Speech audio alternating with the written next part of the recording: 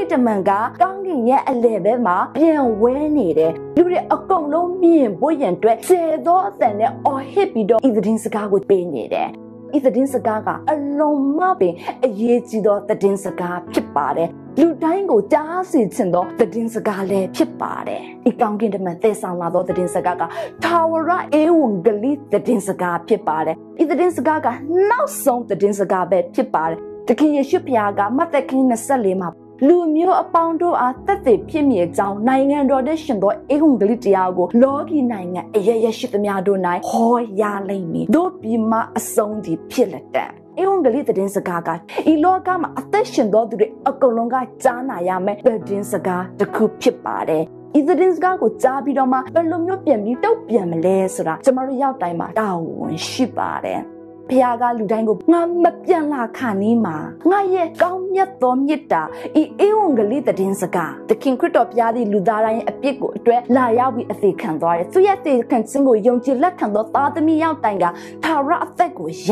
မယ်ဤသတင်းစကားကိုတကပါလုံးကမှရှိတော်သူတွေအကုန်ကြားပြီးသောအခါမှာသခင်ခရစ်တော်ဘုရားကြွလာလိမ့်မယ်ဗျာဒိတ်စံကိန်းဆက်လေးအငယ်ခုနှစ်မှာ ဖယားသခင်ကိုကြောက်ရွံ့၍ချီးမွမ်းကြလော့တရားစီရင်တော်မူသောအချိန်ရောက်လာပြီတောင်းကင်မြေကြီးသမုတ်တရားနှင့်စမ်းရည်တွင်တို့ကိုဖန်ဆင်းတော်မူသောအရှင်ကိုကိုးကွယ်ကြလော့ဟုကြီးသောအသံနှင့်ပြောဆို၍တောင်းကင်အလယ်၌ပြန်ဝဲလျက်ရှိသည်ကိုငါမြင်၏ဖယားသခင်ကိုကြောက်ရွံ့၍ချီးမွမ်းကြလော့ကြောက်ရွံ့တယ်ဆိုတော့လေးစားမှုပေးတာကာရဝကိုပေးတာကိုဆိုလိုတယ်ဖယားနဲ့ကျမတို့ယဉ်ကျေးဆက်ဆံတဲ့ကြားထဲမှာဖယားသခင်ကပွင့်လင်းမြင်သာမှုကိုသူကလိုချင်တယ် ဖယားသခင်ကကောင်းကင်ဘုံမှာရှိတဲ့သန့်ရှင်သောဖယားဖြစ်ပါတယ်။ဤဖယားကကျမတို့တရားစီရင်တော်မူသောအချိန်ရောက်လာပြီ။စစ်မှန်သောဖယားကိုကြောင်ရွံ့ရွံ့ချီးမွမ်းကြလော်လို့ပြောပြီးနောက်ပိုင်းမှာတရားစီရင်သောအချိန်ရောက်လာပြီ။ဒီတရားစီရင်ခြင်းအတွက်ဘယ်လိုပြင်ဆင်ကြမလဲ။ကောင်းကင်မြေကြီးသမုတ်တရားနဲ့စမ်းရည်တွင်တို့ကိုဖန်ဆင်းတော်မူသောအရှင်ကိုကိုးကွယ်ကြလော့ စစ်မှန်သောကိုပြုတ်ကိုယ်ွယ်မှုကဒီနေရာမှာအလုံးမပင်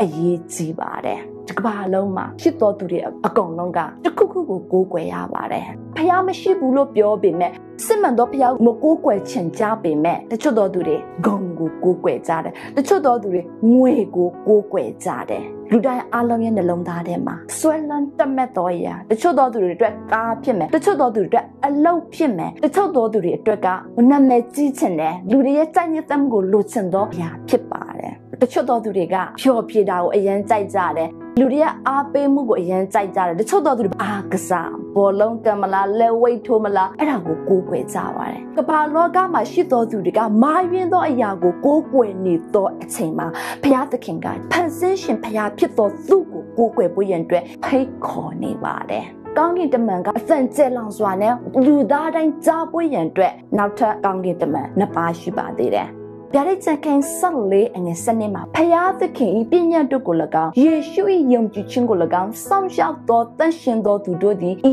အရာ၌သီးခံစရာအကြောင်းရှိ၏ဖယားကသူ့မှာတန်ရှင်သောသူတွေရှိတယ်သူရဲ့တန်ရှင်သောသားသမီးတွေကပညာတော်၁၀ပါးကိုစောင့်ရှောက်သောသူတွေဖြစ်တယ်ယေရှုရဲ့ယုံကြည်ခြင်းနဲ့အသက်ရှင်တော်သူတွေဖြစ်တယ်။မိဘရဲ့ယုံကြည်ခြင်းရှိတာမဟုတ်ဘူး။အသင်းတော်ရဲ့ယုံကြည်ခြင်းရှိတာမဟုတ်။ယေရှုရဲ့ယုံကြည်ခြင်းနဲ့ပြည့်ဝတော်သူတွေ။ဤလူ တွေကငြိမ်သက်ခြင်းနဲ့ပြည့်ဝတော်သူတွေဖြစ်တယ်။ဧဝံဂေလိသတင်းစကားရဲ့အရေးကြီးသောအရာကကဘာမြေကြီးကုံဆုံးခါနီးမှာကဘာမြေကြီးမှာအသက်ရှင်သောသူတွေအကုန်လုံးကျမ်းစာထဲမှာဖော်ပြထားသောသခင်ယေရှုကကျွန်ုပ်တို့ရဲ့ဖန်ဆင်းရှင်ဖျားဖြစ်တယ်ဆိုတာကိုအသိမှတ်ပြုပြီးတော့မှစစ်မှန်သောဖျားကိုဝတ်ပြုကိုကွယ်ဖို့ရန်အတွက်ရောက်တိုင်းကိုခေါ်နေပါတယ် လူတွေဖျားသခင်နဲ့အဝေးရာစီကိုသွားဖို့ရန်အတွက်ဖျားမရှိသောအသက်တာနဲ့လူတွေအသက်ရှင်ဖို့ရန်အတွက်စာနာမဏကကြိုတင်ကြံစီခဲ့ပါတယ်ဖယားကိုကြောခိုင်းပြီးဆိုရင်အသက်တာကထာဝရအသက်ရှင်ခြင်းကျွန်တော်တို့ဝေးကွာသွားပါတယ် အဲ့ဒါကြောင့်မို့စာတန်ကကျမတို့နှလုံးသားထဲမှာသင်ကားတော်တယ်သင်ကားပညာတတ်ဖြစ်တယ်ဤကျမ်းစာကိုသင်ယုံစရာအကြောင်းမရှိဘူးဒီကျမ်းစာအောက်ကအယံကိုဟောင်းသွားပြီးဒိတ်အောက်သွားပြီးဆိုပြီးတော့မှစာတန်ကအဲ့ဒီအတွေးတွေကိုထောင်ထဲမှာချက်ပေးပါတယ်သို့တော့ဘုရားသခင်ကလူတွေအကုန်လုံးအတွက်အကောင်းဆုံးသောအရာကိုရရှိဖို့ရန်အတွက်သူအလိုရှိပါတယ် ရှင်ယောဟန်ခန်းကြီး3ငယ်16မှာဖျားသခင်သားတော်ကိုယုံကြည်သောသူပေါင်းတို့သည်ပြည့်စည်ခြင်းတို့မရထာဝရအသက်ကိုရစေခြင်းကဖျားသခင်သည်မိမိနဲ့တပါးတည်သောသားတော်ကိုစွန့်တော်မူသည့်တိုင်အောင်လောကီသားတို့ကိုချစ်တော်မူ၏ဖျားသခင်ကကျွန်တော်ရောက်တိုင်ကိုသိချင်းနဲ့ကေဝင်သောထာဝရအသက်ပျော်ရွှင်ဖွယ်သောအသက်ကိုအေးချင်ပါတယ်ဤကဘာမြေကြီးကိုကျွန်တော်တို့ကြည့်မယ်ဆိုရင်စုပ်ပြတ်သတ်နေတယ် အိုချင်းနာချင်းတေချင်းမုံတိမှုတွေနဲ့ပြည့်ဝနေသောကဘာမြေကြီးမှာဘုရားသခင်ကငါသားငါသမီးစစ်မှန်သောဘုရားသခင်စီကိုပြန်ပြီးလက်လာပါအဲ့လိုလက်လာမယ်ဆိုရင်သင်အသက်တာကပြောင်းလဲလိမ့်မယ်ဒီတစ်ခါမှမကြုံဘူးသောမျော်လင့်ခြင်းသင်ရဲ့နှလုံးသားမှာရရှိလိမ့်မယ်ဆိုပြီးတော့မှဖိတ်ခေါ်နေပါတယ်ရှင်ပေါလုကနေပြီးတော့မှနောက်ဆုံးသောခေတ်ကာလမှာအသက်ရှင်သောသူတွေကိုလူတွေကဘုရားတရားရှိခြင်းရောင်းဆောင်ကြတယ်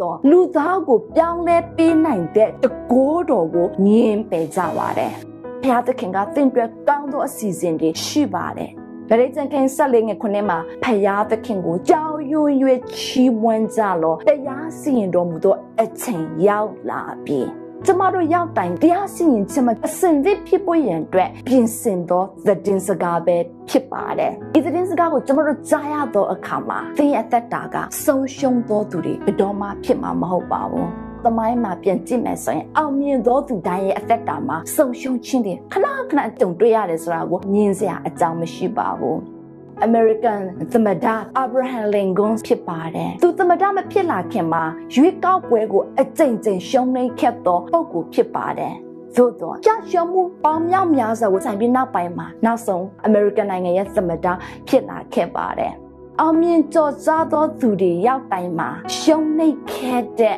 ဖြစ်အပျက်တွေရှိတယ်။ယောမခင်ကြီး3ငယ်23မှာ လူအပေါင်းတို့သည်ဒုစရိုက်ကိုပြူရွက်ဖျားသခင်ရှိတော်၌အသေးပြက်ကြပြီဝိညာဉ်ရေးရမှာကျမတို့ဂျင်ဂျင်တခါတော့ကဆုံးရှုံးသောသူတွေဖြစ်ခဲ့ကြပါတယ် တရားစီရင်ခြင်းအချိန်ကြာရောက်လာသောအခါမှာစိတ်နှလုံးခိုင်မာစွာနဲ့ဤတရားစီရင်ခြင်းကိုသင်ရင်ဆိုင်နိုင်ပါတယ်။ဒံယေလအနာဂတိကျမ်းမှာတရားစီရင်ခြင်းနဲ့ပတ်သက်ပြီးတော့မှဒံယေလအနာဂတိကျမ်းခန်းခုနှစ်အငယ်9:10မှာထိုအခါငါကြည့်ရှုစဉ်ရာဇပလင်များကိုတည်ထားလျက်ရှိ၍အသက်ကြီးသောသူတို့သည်ထိုင်တော်မူ၏ အဝတ်တော်သည်မိုးပွင့်ကဲ့သို့တူ၏စပင်တော်သည်ဖြူသောသိုးမွေးနှင့်တူ၏ပလင်တော်သည်မီးလျံဖြစ်၏ပလင်အောက်၌မီးဆက်လဲပြီးရှိ၏မျက်နာတော်မှာမီးရောင်ချီထွက်လေ၏အတိုင်းမသိများစွာသောသူတို့သည်အမှုတော်ကိုကြောင်ရွဲ့၍တတိသချေမကရှစ်တော်၌ခဆာ၍နေကြ၏တရားစီရင်ခြင်းကပြင်ဆင်၍စာ